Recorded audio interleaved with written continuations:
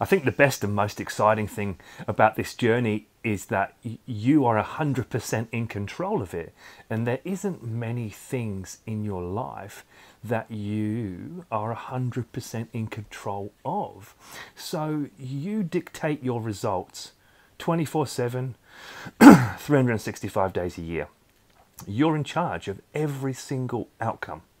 You dictate the food you eat, you dictate how you walk and how often and how fast. You dictate your workouts, you dictate your stretches, you dictate your sleep, your water.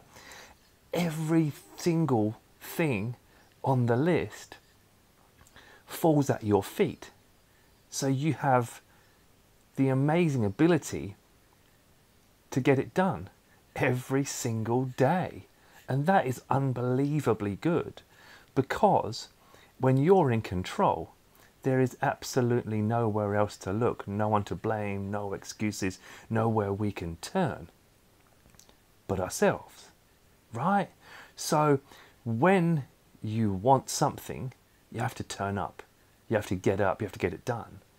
And if you continue to do that, and if you follow the steps and follow the process and keep showing up, then the results are endless. And that's amazing, right? So always look at it in that light. Like everything is down to me. It's always me, right? If it's good, it was me. If it didn't go so well, it was me, right? So you're in charge. You control it. So make sure you turn up every day.